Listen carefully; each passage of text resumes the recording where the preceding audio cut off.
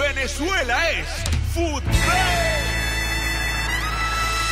¿Qué tal, profe? Buenas noches, Verma. Bueno, yo Zapata también, como parte de la rueda de prensa, finalizado una temporada que, bueno, ahí quisieron seguir logrando más objetivos, pero lamentablemente eh, no pudieron lograrlo, ¿no? Apenas dos puntos. Profe, eh, siempre lo hemos hablado, siempre hemos utilizado objetivos en cuanto que menos se hace más, ¿no? Y, esta temporada creo que el, equipo con, con poco, con las pocas piezas que, que, están en el equipo hicieron un trabajo importante, pero se vio, ¿no? Profe, quizás por allí falta de profundidad en esta fase final. Bueno, buenas noches. Yo creo que en, que en líneas generales hicimos un buen torneo de apertura. Primero, como se dio la clasificación y después eh, lo que fue cuadrangular, aunque no sacamos la cantidad de puntos que pensamos que, podíamos conseguir, fuimos encontrando muchas dificultades en el camino, y, pero en líneas generales eh, nos toca revisar y, rescatar lo, lo bueno. Yo por lo menos eh, de esta nómina hay muchos jugadores que nunca han jugado rondas finales. Y no es fácil llegar a una ronda final con equipos como estos, que tienen toda la experiencia. Jugadores que siguen sumando gran cantidad de, minutos. Zapata es uno que, como dijimos en una oportunidad aquí, venía de Sudáfrica donde casi no jugó y ahora jugó los 19, ¿no? 18 partidos. Me perdí dos. ¿Ah? Me perdí dos. Se perdió dos, jugó a 17 partidos de los 19 que van de la apertura, ha jugado muchos minutos. Y entonces ahora la tarea pues tratar de darle profundidad, como tú dijiste, al equipo, no solamente el 11 que empieza, tener un buen banco de suplentes, tener una buena camada de jóvenes, eh, reestructurar algunas cosas en el cuerpo técnico también y poder seguir luchando y manteniendo el, puesto que hoy por hoy tenemos en la tabla general. Hoy por hoy somos terceros, estamos en puesto de copa y eso es lo que vamos a luchar en el clausura. Un clausura que va a ser mucho más duro que lo que vimos ahora en los cuadrangulares, que lo que vimos en la apertura. Va a ser muy duro porque ustedes saben cuáles fueron los equipos que quedaron fuera y vienen con todo. Y entonces la tarea de nosotros que es sostenernos, nosotros, se ve, Angostura, los que terminamos la parte alta, nos va a tocar muy duro, nos va a tocar muy duro lo que viene y, y ahora descansar, a revisar algunas cosas y, y ver qué pasos vamos a dar. Pero, en hacerlo descansar, sostener, esto nos indica que el día vamos a seguir en el equipo y que la Copa Venezuela le va a permitir para ir jugando algunos detalles. Hoy por hoy no lo he definido, hoy por hoy no lo he definido si seguimos o no pero con todo y eso hemos tenido algunas conversaciones en cuanto a jugadores, en cuanto a lo que hay que replantear en un supuesto que sigamos. Pero hoy por hoy, bueno, vamos a salir a descanso, lo vamos a analizar bien y seguramente en estos primeros días de la semana ya tendremos algo ya más, más concreto, pero estamos 50 y 50, la verdad estamos 50 y 50 y no sabemos si, yo particularmente no sé si, si voy a continuar o no. Gracias, profe. Juan Camilo Zapata, bueno, felicitarte, 10 goles. Eh, recuerdo una entrevista que dijiste que mi objetivo, nuestro objetivo es lograr una estrella con el equipo, no pudieron hacerla. Eh, seguro que logro rescatar en la entrevista que hicimos a través del eh, que no tiene nada concreto en otro lugar, y eso nos indica que siempre y cuando Juan Carlos se quede el equipo, seguirá con ese mismo objetivo eh, y también vas a hacer un complemento para seguramente algunos esfuerzos para él. Sí, muy buenas noches. No, siempre creo, primero es aclarar que usted dice que no lo logramos, todavía falta y vamos por buen camino. Creo que como dice el profe, estamos en puestos ahí de, pelear la reclasificación, estamos a tres puntos de un partido, ganándole a ellos, al que va de primero, nos ponemos primero. Entonces, en lo personal, eh, creo que hoy me voy un poquito triste porque por ahí tomé malas decisiones, siento que pude haber hecho más daño, pero en el torneo creo que jugar 17 partidos y hacer 10 goles es un buen promedio. Es un buen promedio y más con, con el equipo que no sé cuántos goles hicimos en todo el torneo. No hicimos mucho. Hicimos 14 goles En todo el torneo, todo el torneo. 10 suyos, 3 No, de más. 17. como 17. Entonces, por ahí es. No tenemos ni un gol por partido, creo yo. Entonces, por ahí es de rescatar eso y, y bueno, felicitar al equipo que por lo menos eh, estuvimos en la pelea, dimos todo y, y nos vamos. En esa forma, yo en lo personal me voy tranquilo. Yo sé que mis compañeros también se van tranquilos. Eh, pero Juan, hoy un partido, como yo lo decía profe, un equipo complicado, que a la final, eh, vimos dos versiones, ¿no? El complicado, un equipo más con, tenencia, a un equipo como es Inter, que es un poco más vertical, la de ataque, eh, más allá de la, de la efectividad, las tomas de decisiones, creo que también son detalles, eh, pequeños detalles que tienen que ir mejorando en el frente de también para Barita, porque si hay algo positivo es que genera volumen de juego, genera llegada, pero eh, quizás en, ese, en esa última decisión no, no tiene que depender mucho de Camilo Zapata.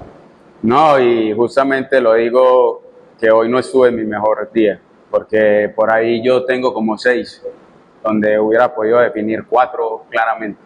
Entonces el profe me lo decía, tengo que, que tenía que estar más tranquilo, tomar una mejor decisión. Es bueno que nos lo digan ahí porque, como dice usted, viene una copa donde por ahí se puede trabajar, se puede mejorar y, y eso es de, de uno saber escuchar y ir mejorando lo que a uno le hace falta. Buenas noches, profe. Buenas noches. Buenas noches. Profe, yo quería hacerte esta pregunta quizás mejor al finalizar la fase regular que, que sentían ustedes eh, ese objetivo cumplido o ese primer objetivo cumplido de, clasificar. Pero obviamente eh, este momento también es propicio. En lo personal, te tocó vivir años difíciles en agua, el año pasado también fue bastante complicado en cuanto a resultados. En este 2024, eh, ya lo hemos hablado, han sido el tercer equipo de la fase regular. Después, obviamente, la fase final, todos sabemos que no fueron los, ideales, pero a ti lo personal, sientes que, que, que realmente ha sido para ti una revancha, en el buen sentido, poder demostrar que, realmente podías dar mucho más que lo que se había podido hacer eh, incluso en su último partido con estudiantes que, que que los resultados no acompañaron. ¿Y qué fue lo que tuviste que cambiar? ¿Si hubo algo que cambiar para que llegara el resultado o por el contrario, te apegaste más a tu convicción como técnico para poder generar eh, esto que que terminó siendo Inter de Barrigas en este momento?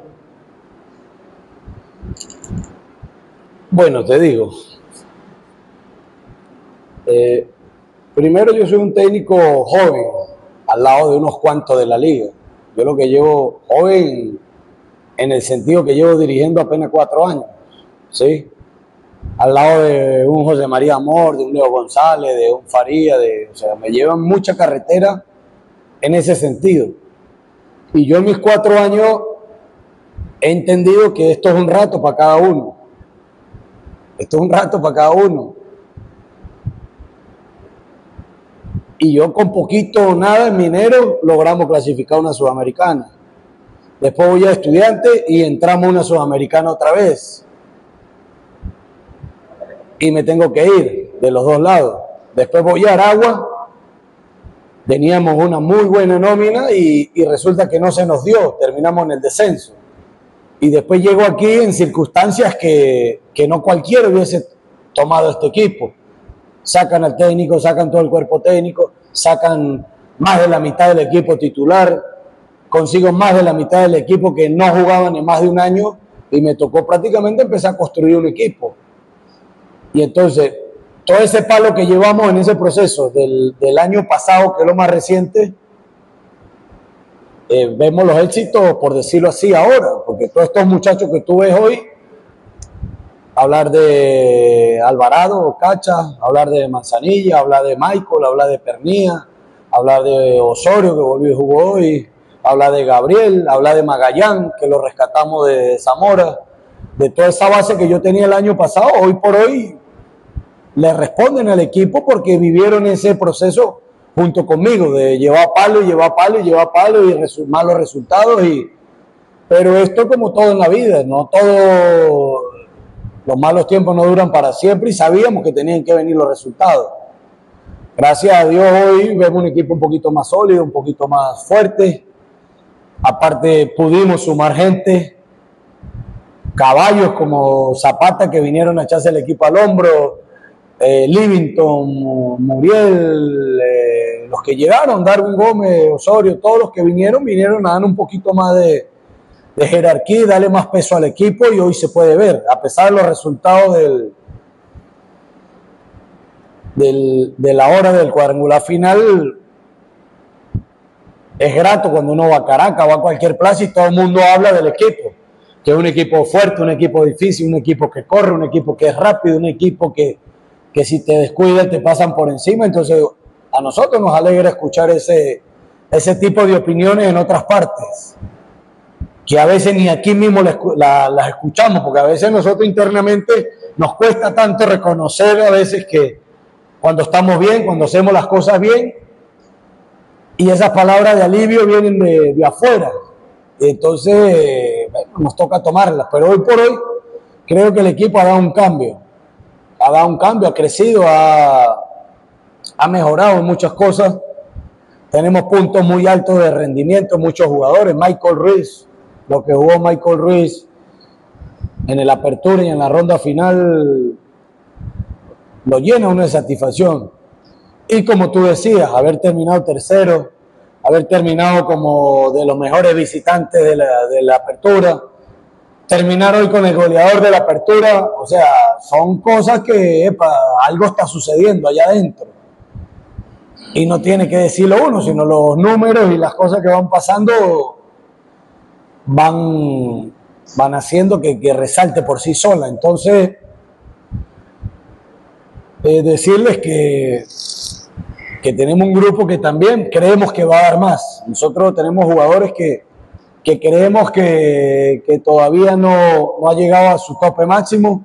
Hay otros que todavía no terminan de reencontrarse consigo mismo, pero seguimos dándole. Estamos en el mes 5, finalizando mes 5, mes 6 del año, queda medio año todavía, y tanto en la preparación física como en la parte futbolística habla que, que ya en el mes 6, 7, 8 deberían soltarse mucho más los jugadores y bueno, estamos esperando la mejor versión de ellos todavía. Ojalá llegue para esta ronda final y, y haga, y haga más fuerte el equipo. Gracias, profe. Que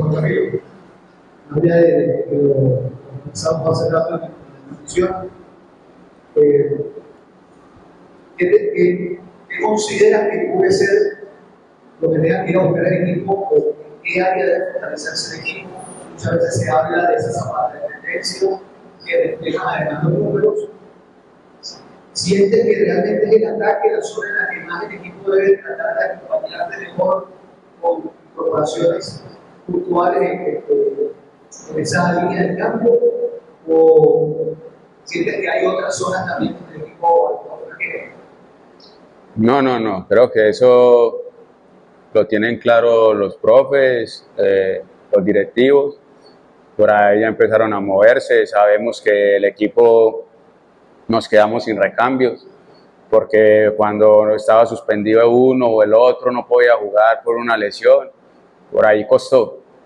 Entonces, claramente ellos son los que toman las decisiones, uno simplemente acata órdenes y sabemos que, como lo dijo el, el presidente, eh, se van a venir refuerzos buscando un, bienestar para el equipo porque no se puede depender nunca de ningún jugador. Creo que somos 11, los cuales desde el arquero hasta el delantero siempre vamos a ser importantes, porque como lo dije hoy, si no, si yo hoy hubiera estado claro, hubiera hecho varios goles. Eh, por ahí yo solo no genero las cosas. Cacha entró, me puso el, me tuvo que poner el balón en la raya prácticamente para poder hacer el segundo. El otro es una jugada donde por ahí Bolívar, un penalti, fue vivo, se tiró, lo pitan y también puede anotar. Entonces uno no depende de uno solo. Creo que el equipo siempre ha sido claro que somos 11 o 22, cuando el profesor lo, lo decida, vamos a estar siempre para el equipo, para bien, bien, del equipo. Buenas noches, profe. Primero que todo felicitarlo eh, sobre este proceso, por una final, por la quinta participación en torneos internacionales, por la oportunidad que ha dado Eso habla muy bien del proceso y que ha tomado una mano lo que ha sido un impulso importante, ¿no? De cara a una gran final, una bonita oportunidad, profe, para que nos veamos de este compromiso, con las variantes, eh, con respecto a de los equipos que apenas sumó dos puntos para ayudar a la Inter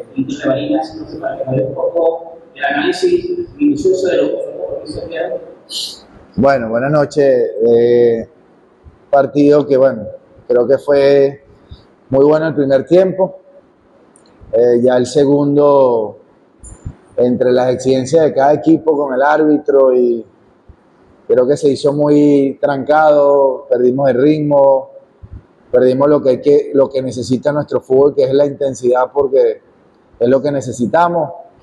Después creo que pasaron cosas puntuales que, el árbitro perdió su criterio, su carácter, después que uno de los jugadores le pega un balonazo y saca amarilla. Y después, bueno, al perder, eh, a lo mejor Tito quiso hacer una, una parte de carácter cada quien y, y, fue expulsado. Creo que, como se lo dije, creo que está bien expulsado Tito, pero no vota el de, el de Inter. Entonces seguimos haciendo criterios diferentes. Y lo más triste es que, sin menospreciar a Inter, nosotros vamos a una final nos saca el segundo portero.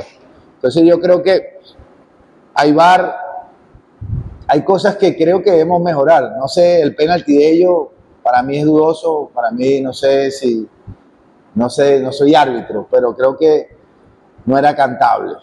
Pero bueno, como te digo, después la mayor satisfacción que terminamos con cinco juveniles, un 2008, dos 2007 y dos 2005. Es un proceso que gracias a Dios pudimos asegurar la quinta copa, eh, se sumó un punto de visitante, que sabemos que la Carolina no es fácil para nadie. Eh, Inter jugó con toda su, su, plantilla fuerte. Te queda el sabor amargo porque te empatan en la última, casi última jugada del partido. Y bueno, creo que es normal con cinco juveniles y uno menos. Creo que se venía ese o, o a lo mejor ganar sufriendo. Entonces creo que muy satisfecho cerrar el ciclo de, del cuadrangular de esta manera como institución nos hace sentir muy orgulloso por, porque se planificó esto y, se vio hoy debutar a, hasta un jugador 2008 que creo que es el primero en, en, el torneo. Entonces creo que a partir de ahí, velos, luchar a Lozada, que tuvo el que tuvo más, más minutos, que viene más de año y medio haciendo las cosas bien en, entre la campeona sub-19 que hoy la sub-21, te llena de orgullo y de, de alegría.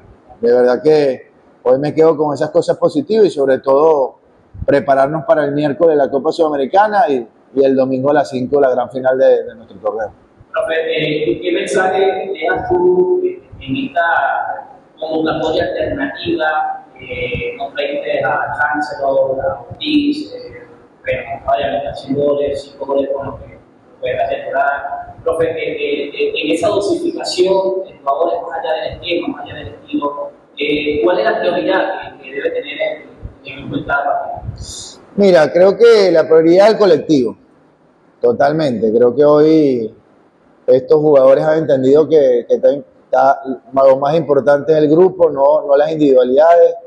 Y creo que hoy lo demostramos, creo que hoy jugamos con un sistema diferente 4-4-2, hacemos 3-5-2, hacemos 3-4-1-2, hacemos 4-1-4-1. Esto me lo da el tiempo de la huella de trabajo que tengo en los seis años de, de, dentro de la institución y que esto va a prevalecer siempre en la huella de ellos. Pero creo que hoy el grupo está muy contento por el debut de tantos chamos, porque desde Charlie ya siente que hay un buen recambio, después de Antón, después el mismo Tito, y bueno, creo que hoy lo que queda es seguir potenciándonos como club, y creo que hoy la final es hoy el miércoles para después empezar el domingo. Sabemos que queremos preparar la final lo mejor posible, pero tenemos un compromiso que el miércoles queremos también sumar los primeros puntos como equipo internacional. Buenas noches, profesor. Una pregunta que quería trasladársela de muchas cosas que uno puede leer en las redes sociales, unas acertadas, otras no tanto, pero desde la clasificación de metropolitanos a la gran final eh, surgió esa contrariedad de un equipo, nosotros incluso decimos la transmisión, que encontró su mejor momento en el tramo decisivo, ¿no? en el torneo local, para de hecho llegar a la final con un partido sin perder. Pero del mismo modo, pues, no ha podido ser la excepción de lo que ha sido el eh, internacionalmente, eh, incluso en los últimos años. Es una realidad para, todos. Desde tu perspectiva de entrenador, ¿cómo manejas esa situación? Sobre todo porque sé que te ha tocado ir a jugar Sudamericana, ir a jugar incluso menos de 48 horas, ya lo mencionaba en las anteriores. Pero ¿cómo lo, cómo lo manejas desde tu perspectiva de entrenador? ¿Y qué, qué crees que ha sido la clave para poder pasar la página, muchas veces decimos, y que esos resultados negativos afuera no permeen hacia el rendimiento del equipo? Mira, creo que internacionalmente estamos en deuda. No, no hablo de lo demás, hablo de Metro porque creo que todos merecemos respeto. No, he escuchado a otros entrenadores nombrar a, a Metro. Yo de mi parte me preocupo por Metropolitano. Estamos en deuda con, con ustedes, los periodistas, con, con, vamos a decir, la fanaticada general, porque Metro es Venezuela. Eh, yo en lo personal eh, nos vaciamos totalmente en las copas internacionales y, con el COA hemos encontrado de buscar un nuevo semblante o una nueva realidad que es nuestro torneo y que la revancha siempre va a ser hoy en día el siguiente partido. Entonces hemos convivido con 10 partidos invictos, entre comillas, en la liga, que fueron los últimos y gracias a Dios no fueron los primeros que tenemos un grupo muy fuerte mentalmente, que, que entendieron ellos, lo- los que no tenían minutos de que iban a jugar la Copa Internacional, que nadie nos analiza así, que nos analizan como todos. Nosotros hemos alternado desde la fecha 4 porque queríamos llegar a una final y lo estamos. Han debutado también jugadores 2003, 2004, 2001 en una Copa Internacional que sabemos que es complicada.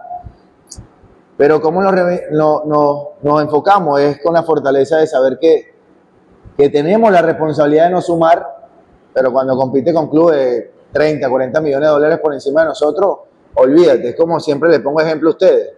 Ustedes no pueden eh, competir con el Pollo Miñolo, que tiene un estudio de 12 cuántos millones de dólares, vestimenta, eh, publicidad. Nosotros estamos en la misma. Lo que pasa es que nosotros nos exponemos a una cancha que, todos queremos en el 11 contra 11 disputarla, pero después empieza el proceso y, ellos que son los jugadores se vacían, pero bueno, lastimosamente nosotros sin, sin ningún tabú tenemos más de 11 partidos sin ganar y, y nos preocupa, pero nos ocupamos de la manera de seguir insistiendo para volver a tener una revancha en el 25. Y hoy, bueno, gracias a Dios tenemos una sudamericana. Entonces creo que a partir de ahí, no creas que es fácil meterse en las redes y llevar palo por todos lados. O a lo mejor ahorita Metro clasifica en la final y todo es que no ganan internacionalmente, que son un desastre. Pero bueno, creo que hemos confundido las redes, la forma de, de expresarnos, pero bueno, se respeta. Creo que lo más importante es lo interno de nosotros, que estamos fuertes y seguimos luchando por, por ser uno de los mejores de Venezuela. Ser, no es que somos, sino ser. Lastimosamente no tenemos mucha repercusión porque no tenemos fanaticada, no tenemos quien retuitee, quien, quien pueda escribir, pero creo que este equipo, ustedes que son los periodistas y a ti te felicito porque tienes mucha estadística. No sé si en los últimos 10 años el equipo que lleva cinco Copas Internacionales seguidas, no sé si Táchira y Caracas lo tienen. Por eso te digo. Entonces, creo que estamos por encima de muchos sin presupuesto alto como son Táchira y Caracas. Entonces, creo que entre más presupuesto, más responsabilidad, y entre menos, no es que no tengamos responsabilidad, pero estamos haciendo cosas interesantes. Estamos haciendo cosas de cinco juveniles en cancha y no, nunca nos dicen que somos la mejor cantera. Entonces, creo que debemos analizar como tú lo haces, ocho años, cinco años, seis años, cómo va Metro, con muchas eficiencias que el presidente Juan Carlos Ferro tiene 12 años poniéndola y que hoy no es fácil eh, eh, tener un club de fútbol de primera sabiendo que es primera y seis categorías menores más el femenino. Entonces creo que le exigimos al dueño muchas cosas pero sabiendo que también le, le entendemos que la situación económica en país no es fácil para, para poder tenernos bien y poder competir a nivel internacional. Profe, eh, el equipo que llegó a la final del 2022 una base de cierta manera ya con mucho tiempo, estaba, estaba Coba, estaba Jeffrey, Aristobone, Arotona, Ferro, incluso venían eh, procesos juveniles. Hoy no habla de la continuidad tuya como técnico, pero el técnico que ha mostrado no solamente en nombres, sino también en, en estructura, el sistema táctico. ¿Cuál ha sido eh, esa principal fortaleza de ustedes, en este caso, ustedes como cuerpo técnico, para poder nuevamente estar aquí a tope sin contar con, base de jugadores? Porque varias veces te he escuchado también, te he escuchado hablar, y a veces ese cansancio que produce eh, estar tanto tiempo al frente del mismo grupo, el grupo ha ido cambiando y de cierta manera ustedes siguen siendo, eh, yo diría que incluso por encima de, lo, de la realidad que tú has descrito. Mira, creo que hemos cambiado de muchos versos y eso cansa. Creo que lo más importante ha sido ellos que, que se han sostenido en los momentos difíciles al inicio del torneo. Creo que tuvimos mucha paciencia al proceso de recambio y que al final, eh, para mí lo más importante ha sido la actitud de los jugadores para recambiarse su actitud y buscar estar siempre de primero. Creo que me quedo con que a la final la lograron los jugadores totalmente. eh, nosotros somos herramienta. No tenían la huella, pero sí tuvieron la capacidad de reaccionar en los momentos que eran, la madurez. Si analiza, fueron 13 pe- eh, fechas, más 6 son 19, menos 10, es decir, que reaccionamos a la fecha 9. Es decir, cuatro fechas antes, que era lo más complejo, y creo que fue el proceso de entender que no estábamos bien, pero que seguíamos trabajando para estar bien, sin esperar el resultado o esperar en qué posición estábamos, porque estuvimos hasta en la posición 11 y 12. Entonces creo que fue todo llevarlo paso a paso, como dice- decimos nosotros, partido tras partido, y creo que nos apretamos los últimos cuatro de Caracas, que todo el mundo decía tenían que ganarlo, y nosotros en internet sabíamos que el punto no iba a ganar porque en Puerto Cabello íbamos a hacer un buen partido. A esto incluye que nos llegó un jugador élite para la liga y que nos, lo tenemos nosotros, que es John Chancellor. Entonces creo que se nos dio todos, pero tuvimos esa energía positiva y la paciencia de saber que lo íbamos a lograr. Creo que eso día a día ellos lo hicieron, nosotros nunca nos desesperamos porque veíamos, que lo dije en las primeras fechas, el cansancio del verso, ellos nos demostraron que no era así y fuimos cada quien directivo, cuerpos técnicos a, llevar al jugador que sabía que iba a reaccionar en los momentos que lo necesitamos. Gracias a Dios fue así, si no, tú sabes muy bien que seis años en un club es, difícil eh, pararse después de una, una charla y a lo mejor tengo jugadores que tienen más de 100 charlas escuchando. Y te van a decir otra vez lo mismo, porque es, es difícil, pero creo que ellos tuvieron la madurez la sapiencia y la empatía de poder producir cosas positivas para el bien general. Gracias, profe. El día pasado, no sé si pronuncié correctamente el nombre, tu primer partido como profesional, esa sensación, más allá de las circunstancias, los contextos del partido, pero, pero realmente es, es especial, sobre todo por lo que hemos hablado, ¿no? que no es algo casual, sino que de un proceso. ¿Cómo lo viviste? Eh, la sensación que deja el partido respecto también a las instituciones del cuerpo técnico, coméntame respecto. Bueno, primeramente las gracias a Dios por, por mi debut y al profe por la confianza que me da. Este, lo viví tranquilo, lo tomé la- de la mejor manera, lo supe manejar y iba pasando los minutos y cada vez iba agarrando más confianza. Entonces, bueno, se nos fue el último minuto del partido, creo que si lo, lo ganábamos era algo más importante para mí, ¿sabes? Entonces, ahí, eh, yo veíamos, lo comentamos en la transmisión, que y pese a eso, ¿no? hacer un partido prácticamente ya eh, cualquier día de trámite, pero Tito estaba bastante atento, sobre todo el primer tiempo, su forma también, obviamente, de ser el capitán de, de sacar al equipo. Eh, ¿Cómo, ¿Cómo gestionaste ese momento difícil en el cual estaban viendo que, que Inter, pese a que ustedes estaban arriba, les estaba llegando? Justamente eso, ¿no? hombre de la jerarquía de Tito. No, Tito nos decía que, que las marcas, las marcas, que no las soltaban. Y bueno, lo expulsan y, y- y sin embargo estábamos bien para ver. Y en el último minuto se nos fue el partido. Y bueno, vamos agarrando confianza cada vez más. a ser la chance de del equipo, porque realmente que no solamente por lo que pueda marcar en la cancha, sino que también esa convivencia seguramente diaria, con el entrenamiento, eh, es algo de lo que seguramente le puedo decir, cómo ha sido de lo personal esa relación con el defensor de, de internacional. No, feliz, feliz de tenerlo en el equipo, porque cada vez en cada entreno nos habla y nos ve en, en las cosas que hacemos mal, nos corrige. Y bueno, es un apoyo más para el equipo y feliz de tenerlo en el equipo. Venezuela es fútbol.